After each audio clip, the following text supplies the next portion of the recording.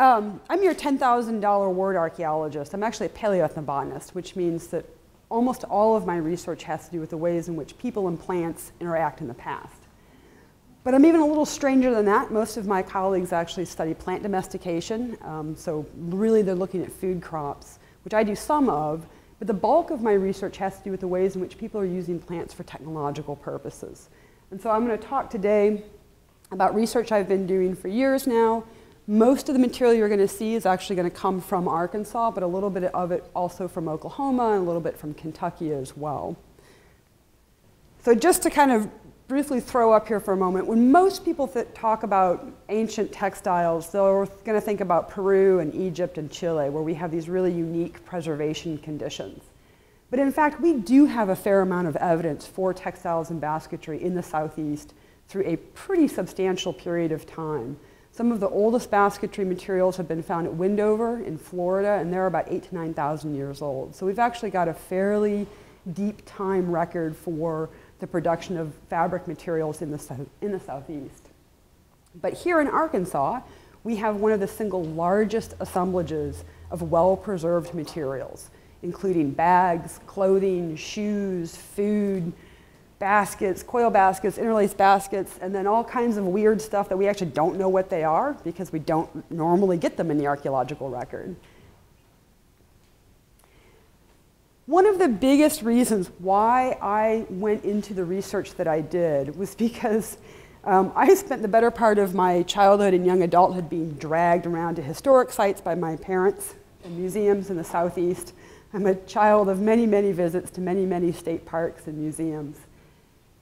And inevitably, you go into a museum that had stuff about archaeology of the Southeast, and you would see this diorama and it would always include some poor, benighted woman forever frozen in the most mind numbing task you could think of. She's grinding corn or she's scraping a hide. And she's always dressed in this ratty, unformed, unshaped little chunk of leather wrapped around her waist. And I spent years thinking to myself, surely there were better things to wear. I mean, we're human. We, our, our ideas about things don't really change much society to society. We like things pretty, we like things bright, we like things well made, we like things that fit us well. We're human. Um, so I, uh, I took offense quite often to drudge on a hide, and I'll point out that drudge on the hide is actually a phrase that comes from one of my mentors to talk about the ways in which women are depicted in the past. So you're going to hear a lot about women today, which is appropriate for it being Women's Month, March. Um, but this is women's work, and these are women's materials. Very quickly, these are the basic weaving techniques that we see in textiles across the Southeast and basketry as well. Um, mostly what I'm going to talk about today is going to be twined textiles and some of the interlaced basketry. But we do have really good examples of some of the netting as well. And oddly, we're one of the few places in the southeast where we have really good evidence for coil baskets. My research, like I said, focuses mostly on understanding what the plants are that people are using. So I spend hundreds of hours at a microscope looking at plant materials, both modern and archaeological.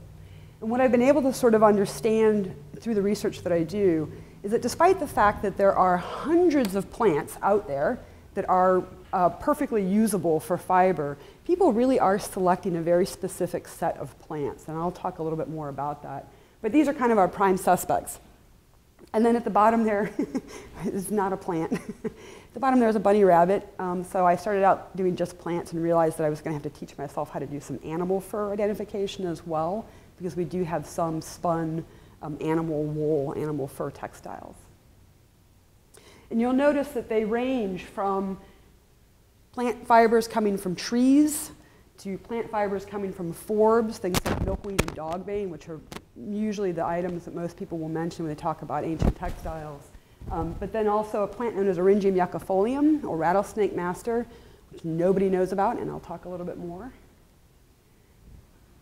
Who watches CSI? Anybody? Yeah. So it's totally not like well, how they show in the, in the, in the show. Um, uh, somebody wants to ask me about this later, I can talk about how the FBI got sort of slammed for their bad science. But in doing fiber identification, an enormous amount of what I do is actually looking at cell structures of plants. Um, so I'm looking at samples that are magnified anywhere from 100 to 600 times in order to understand cell structures.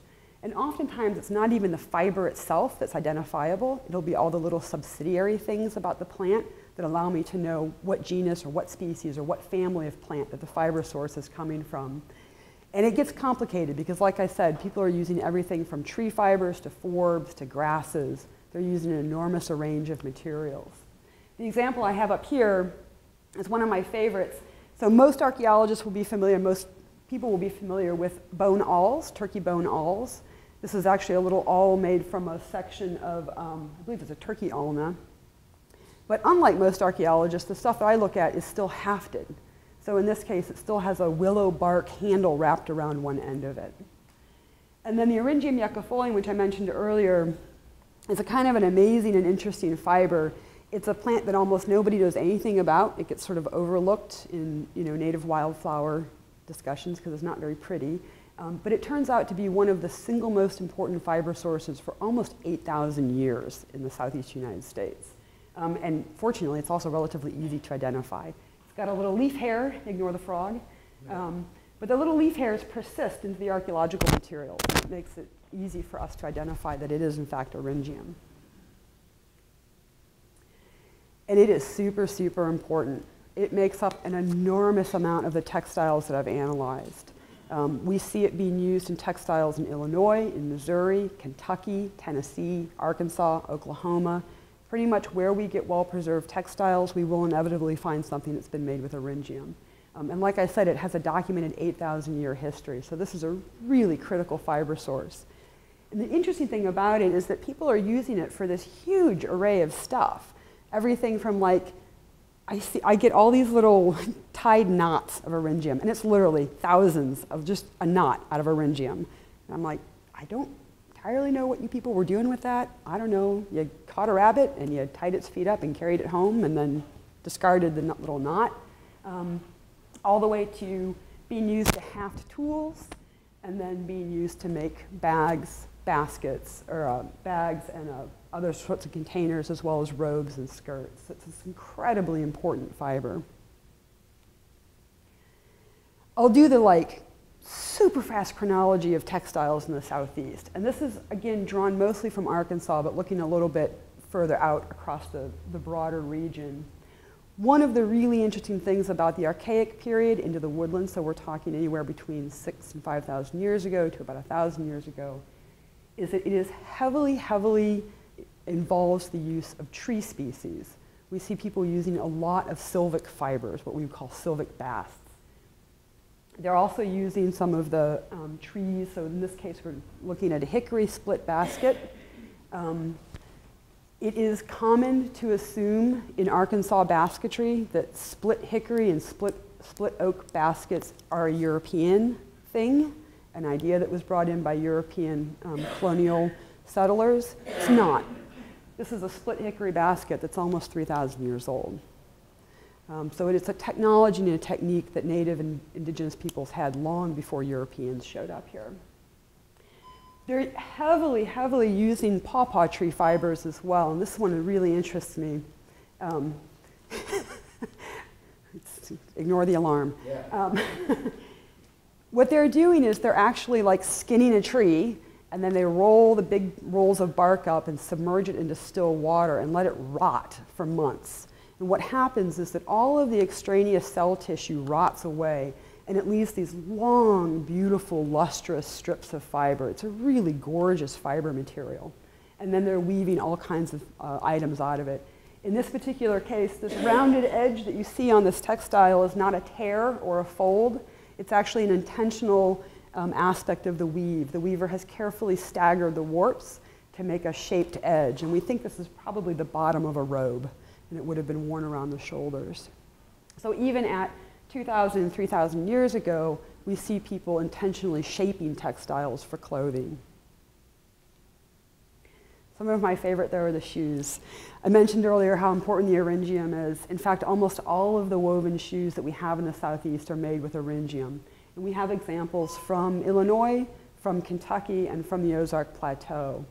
And they span a pretty big period of time. The oldest shoe in the world, um, well, it's not quite the world, but one of the oldest shoes in the world actually comes from Missouri.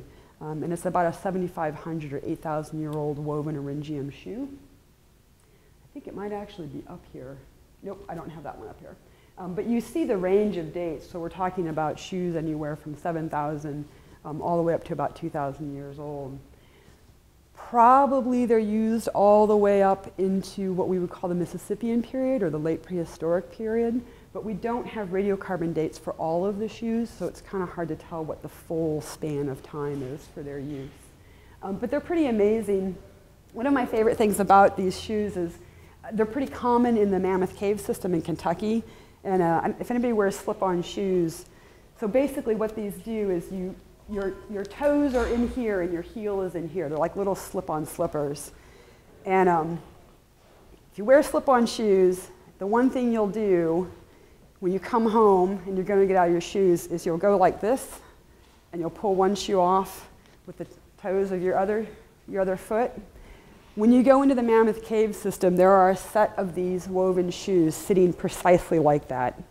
You actually can see where someone pulled one shoe off with one foot and then stepped back and pulled the other shoe off and went on. And they're still sitting there three to 4,000 years later in their exact position.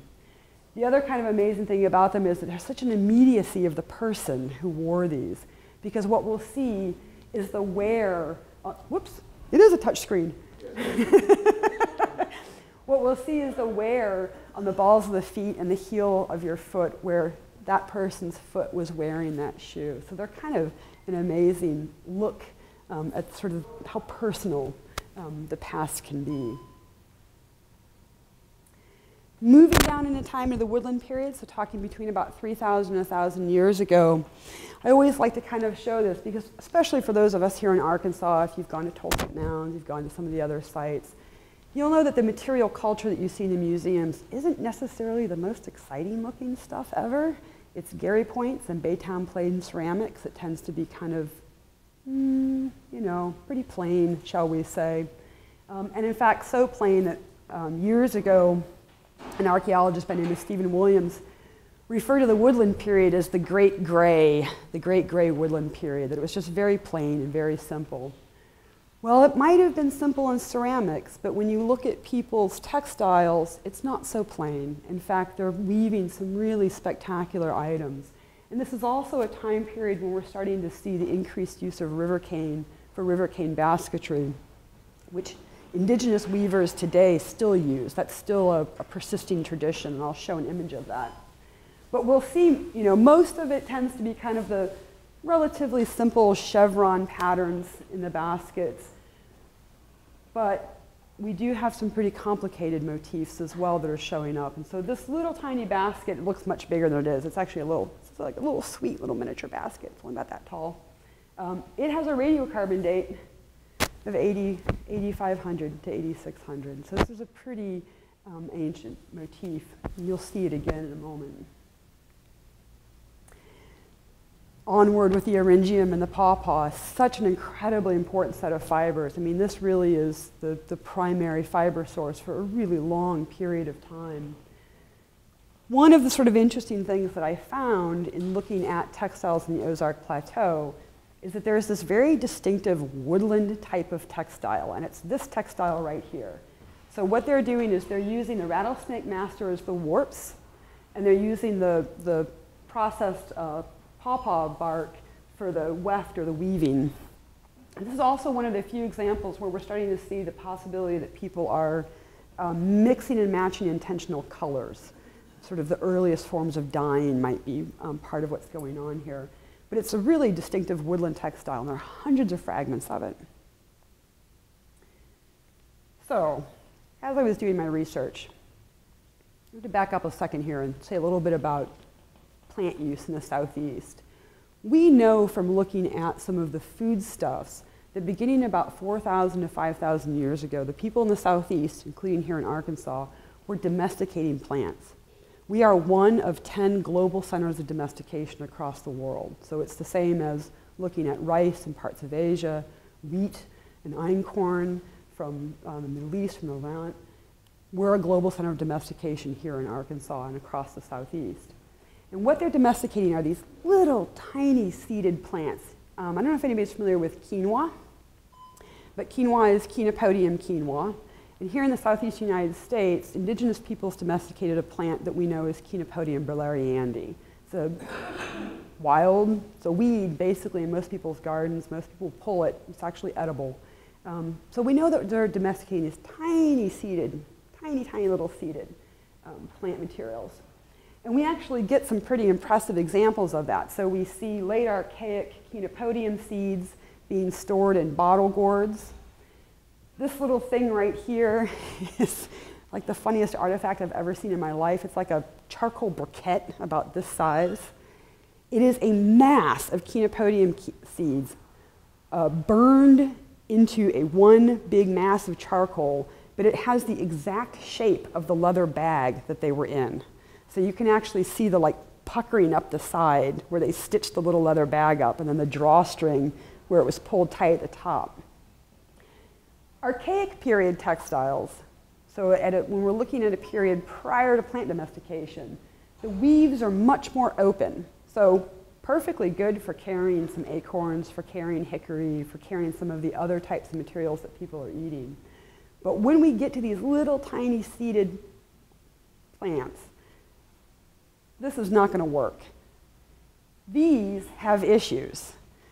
And if you store food, you'll know why. You probably don't want to store dry seed in a tightly sealed container because it'll rot inside of there. You actually do want a little bit of airflow when you're storing seeds so that they don't rot in place. Well, stored into a leather bag, stored into a bottle gourd, you've got some issues. For years, this bag, which actually was on exhibit here at the State House for a while, um, was out of reach of my ability to do any research on it because it was loaned to one institution and then to another and it'd be exhibit and I would never be able to actually like get to it to analyze it. And it recently came back to the University of Arkansas Museum where it's curated and I had an opportunity to look at it in person. For years, I have always wondered if this bag was in fact one of these types of textiles, the syringium and pawpaw. And oh my, yes it is. It absolutely is. And it is one of the most beautifully woven examples of one of these types of textiles. It's just a gorgeous little bag. The pictures make it seem like it's big. It's not. It's a very sweet little thing. It's about this big. It holds a liter of domesticated chenopodium seeds. And in fact, it's so well woven that 2,000 years later, it still holds a liter of domesticated chenopodium seeds. They're still inside of there.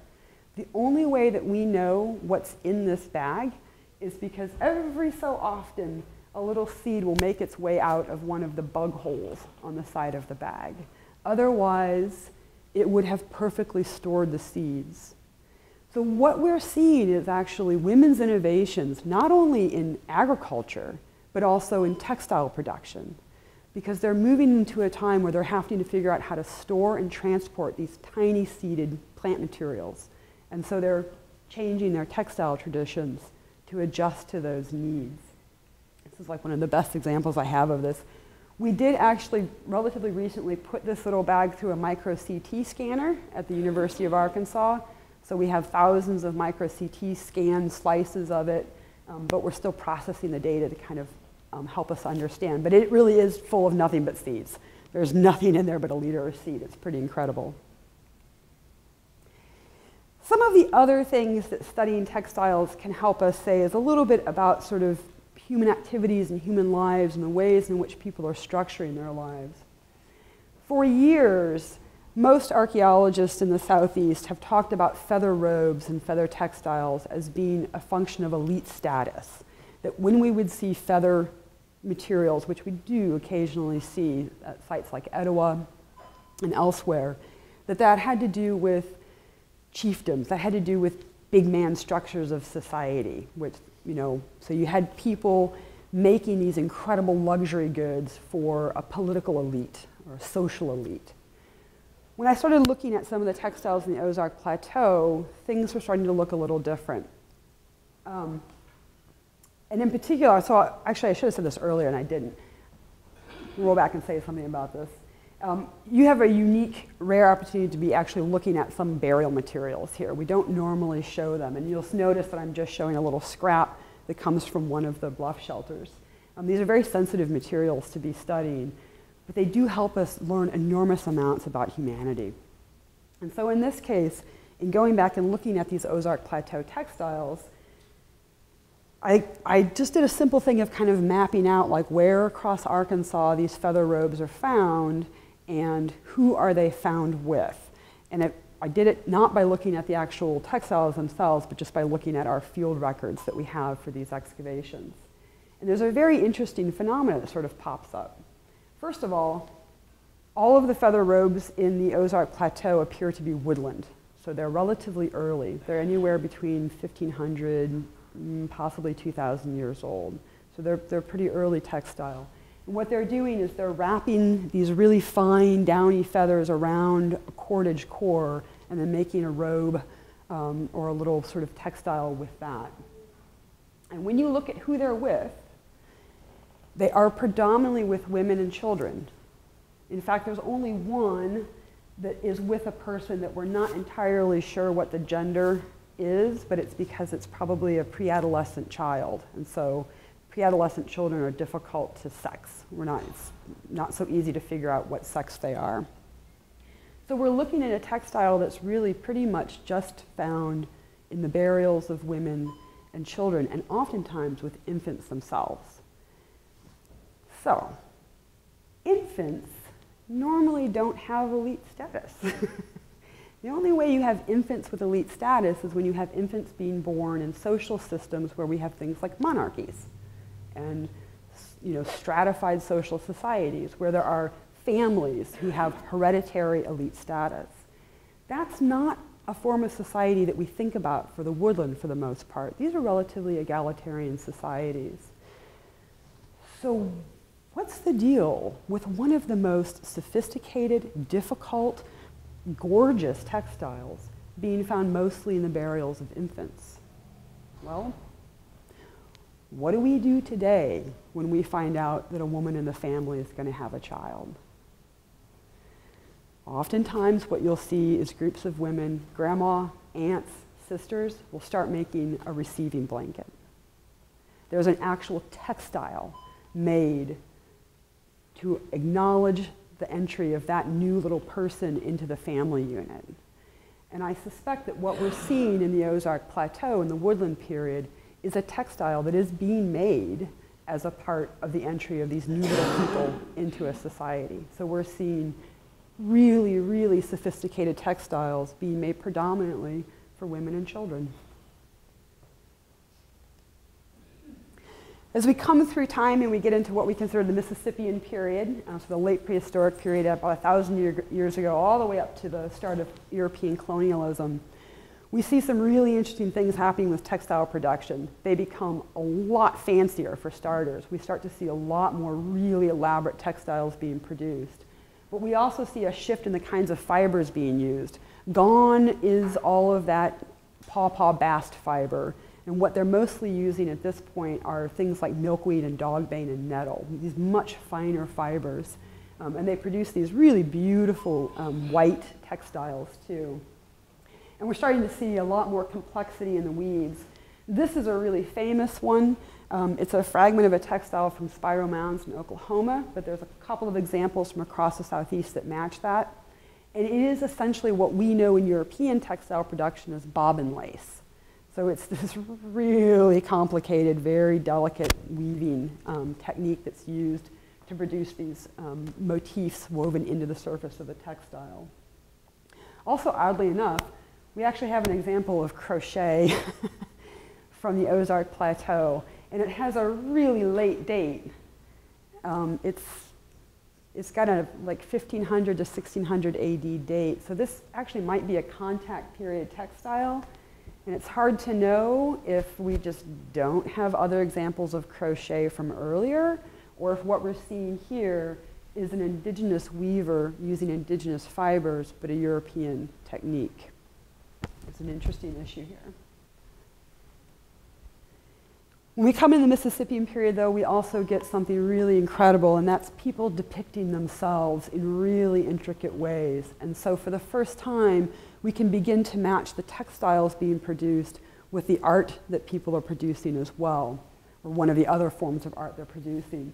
One of the best examples of this is what I call the Mississippian bag. So there's a very specific type of bag being woven in this period, and it has a very distinctive um, finish across the top of the bag. They're taking the warps and they're twisting them up and then catching them up in a braid that goes around the top. And it makes this very identifiable little set of sort of thick elements that come off the top of the bag.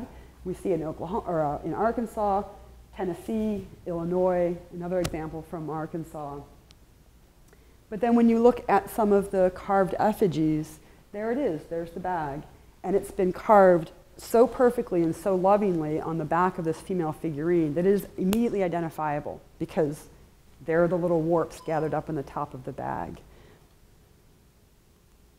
We have some other really interesting examples too. Um, the two textiles being shown come from Spiro Mounds in Oklahoma, which has this incredible assemblage of clothing and, and basketry um, that's preserved in one great big assemblage. But what we're also seeing is people depicting their own clothing. So we have examples like the Thruston tablet, where you can see the figures wearing these little wrap skirts with a dot and circle motif. Well, there it is. There's the wrap skirt with the dot and circle motif. This, although the black and white image is the only one I have for this sadly right now, um, this is actually red with yellow uh, dot and circle it's some form of either tie-dye or batik is how they've made the, the motif pattern across this skirt. And it's not the only example of this. We have a few others as well.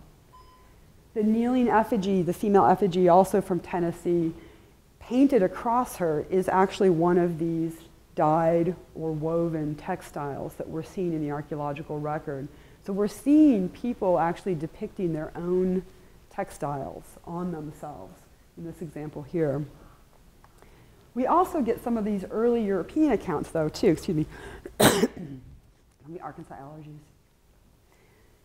Contrary to what becomes a later popular image of native peoples as dressed in nothing but leather, you know, wrap-around leather skirt um, or a leather dress, when you read some of the earliest of European accounts, they're actually talking about how incredibly beautiful the textiles are they're talking about these woven textiles that we see in the archaeological record. And in fact, if you are a complete nerd like I am, I have actually gone through the Soto Chronicles, the accounts of De Soto across the Southeast, um, and made an Excel file of all of the things that the Spanish ever stole from indigenous peoples as they came across the, the Southeast United States. And while most people know that the Spanish were stealing a lot of food from indigenous villages, they were also stealing an enormous amount of cloth. And if you think about it, which apparently the Spanish did not bother to think about because they didn't really bring any cloth with them. They brought lots of other things, plenty of weaponry and some trade beads, um, but they didn't really bring a whole lot of cloth. So hiking across the southeast in the summertime, they would have been in rags by the time they got a state through, you know, greenbrier and swamps and all sorts of things. So they were actually stealing cloth from indigenous villages in order to have clothing. And they'll even talk about women wearing mantles as fine as muslin. So that gives you an idea of the fact that you know, what Europeans were seeing in the 15 and 1600s was the production of really nice cloth that people are using for a variety of purposes. You have a description here of du Pratz um, talking about Natchez women wearing wrapped skirts and wrapped mantles. And we can see that as well in the earlier iconography of people wearing the wrap skirts and the wrap mantles. Let me go back a second though. I mentioned the bunny earlier. um, I've never seen this textile, I've never had a chance to analyze it, it's the Smithsonian, but I have done the analysis of this one. And a whole bunch of the fiber used to make that textile is actually rabbit fur. It's spun and dyed rabbit fur. And there is an enormous amount of spun and dyed rabbit fur in the Spiro mounds assemblage. It's really incredible stuff. Um, this is another example of a spun and dyed rabbit fur textile. These are a type of um, textile known as tapestry. The only um, modern equivalent in indigenous weaving actually comes from the Pacific Northwest coast. So it's not a cultural relationship, it just happens to be that two sets of people came up with the same technique, not uncommon in, in the past. Um, but what they're doing is they're twining these textiles in little discrete color blocks, and they're doing both um, horizontal and vertical twining as well as sometimes diagonal twining to make these incredibly complicated textiles. Most of the tapestry textiles from the Spiro Mounds collection are iconographic. They're actually depicting images of mythic beings. Um, so we have some of the same images that are being carved into shell gorgets and shell cups, as well as being put on embossed copper plates, also being woven into the surfaces of textiles. And this is an immensely complicated um, technique that people are doing. We also see some of these examples of feather robes. And here is a point at which we probably are seeing the use of feather robes by elite, by elite persons. So we have the same type of basic textile, but their role in society has changed through time. They've gone from being a woodland period textile associated with infants and women to something that's associated more with kind of religious and ceremonial practices. But again, when we look at some of the early European accounts, they're saying straight out just how pretty the cloth is. They're, they're seeing um, these amazing textiles that people are wearing and also storing in the villages. And I'll, I'll note here, um, when you read this passage translated into the English, there's a mistranslation in there. Um, they talk about feather mantles being white, gray, vermilion, and yellow. The gray in the passage is a mistranslation. It should say green. So white, green, yellow, red, black. One of the kind of fascinating things about this particular piece is that the, this funny little color, this kind of tinny, mousy brown color, it's the color that green often fades to. So green dyes are frequently not fast dyes. They'll fade through time. And I suspect that the little um, kind of nondescript brown in this textile probably was once a very brilliant green color.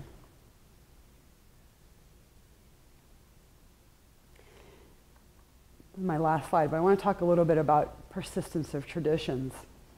Um, one of the things that's really incredible when we look at river cane basketry across the southeast, we know that today we see river cane basketry being produced by Cherokee and Choctaw and Creek, Chumash, Seminole. Almost all of the southeastern indigenous um, tribes and nations have weavers doing river cane basketry. It is an ancient, ancient art form. These folks have been we weaving these river cane baskets for at least uh, seven or 8,000 years. One of the most interesting things about looking at river cane basketry in the southeast is that when we get a good handle on the array of basketry that we have, not only is the technique itself seven or 8,000 years old, but we're seeing thousands of year old use of motifs. So we have a motif that is used in contemporary basketry. It's, it is really prominent in Chitimacha basketry from Louisiana. They refer to it as alligator guts. And it's this linked, interlinked spiral motif. Well, we can track it through time. It is almost 2,000 years old. It is the same motif on this little basket from the Ozark Plateau with a date of AD 545 as we see on a basket woven in 1970.